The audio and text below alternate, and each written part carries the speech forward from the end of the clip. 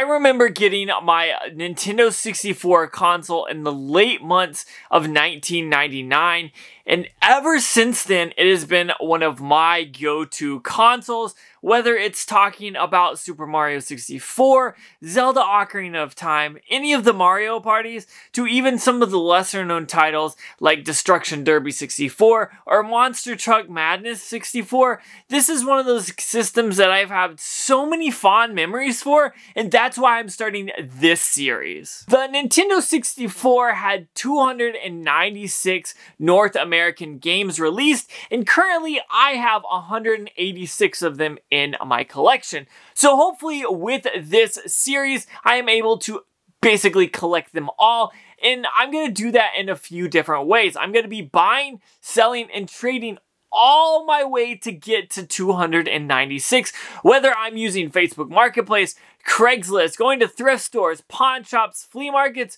or even game stores to find these games. I think this is going to be a tough but interesting series considering I don't see too many Nintendo 64 games at the Goodwills or the thrift stores that I often frequent. So my goal is to kind of step out of my comfort zone in order to get all of these games while at the same time showing that you don't have to do this with a ton of money and I really hope this helps motivate you to grow a collection of your own. This is going to be difficult because I am missing some of those more expensive games on the Nintendo 64. We're talking Super Bowling, Stunt Racer, and of course, Clay Fighter's Sculptor's Cut. So in this video series, I know I'm going to have to spend some money, but I'm going to try to do it in a way where I'm not spending an exorbitant amount of money. I will be definitely be looking for bundles and trades in order to make the money that I have and what I'm going to put towards this series to be able to at least go further and not be as expensive as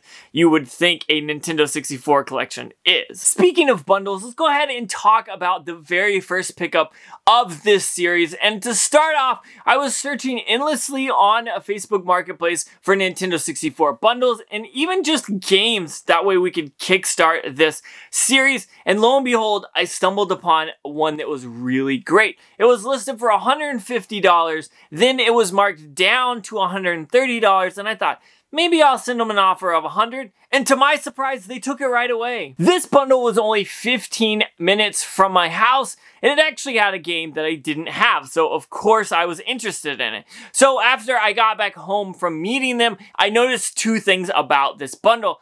The controllers and the cords were third party, which I probably could have figured out if the pictures were better, but that's okay because the second thing I noticed was when I plugged it in, it had an expansion pack in the expansion pack slot, which means I made some money there because I looked these things up.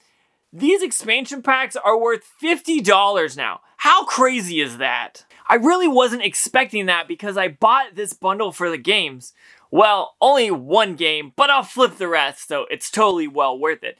This bundle included a few games, uh, six to be exact. First off, WCW versus NWO Revenge. We've got Quake, Kobe Bryant, uh, NBA Courtside. We got Star Wars Rogue Squadron we got Star Wars Episode 1 Racer, and the last game that I needed was Dr. Mario 64. After totaling all of this up with the console, the expansion pack, which I wasn't expecting, and all the games, the total on price charting worth was $207, which is great because I only spent $100 of it. Now, Dr. Mario is worth about $30, so that really knocks the price down to $177, which is pretty perfect. What I plan on doing is bundling everything together except for the expansion pack and selling that separately, and I have a few of those normal original expansion packs that I'll throw in the Nintendo 64 bundle. So we'll be pretty happy there because I'll be able to take that $100 and almost double it right away and be able to put that towards money in the future that will go towards finding more Nintendo 64 games. Now that we have the first pickup for the Nintendo 64 game collection series, I'll have a list down below with all the games I have and what I don't have as well. So that way you can follow along as the journey continues. But with that being said, I really enjoyed this and I can't wait to see what games we can find out in the wild and kind of what we're going to have to do when it comes to going to game stores in order to pick up some of these more expensive games.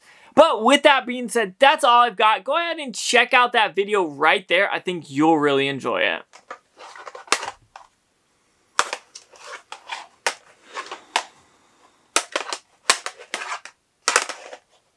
Oh, you're still here? Check that video out for me.